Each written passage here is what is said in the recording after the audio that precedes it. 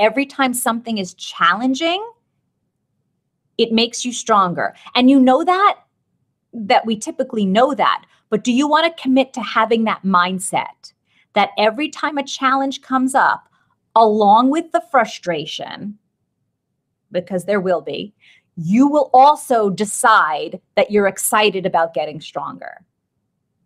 Are you committed to that? I am committed to that. It's scary because there are some things that I think about that I don't know if I could ever get through them, scary things in life. But I've decided to make the commitment to know that every obstacle, every challenge makes me stronger, makes me better.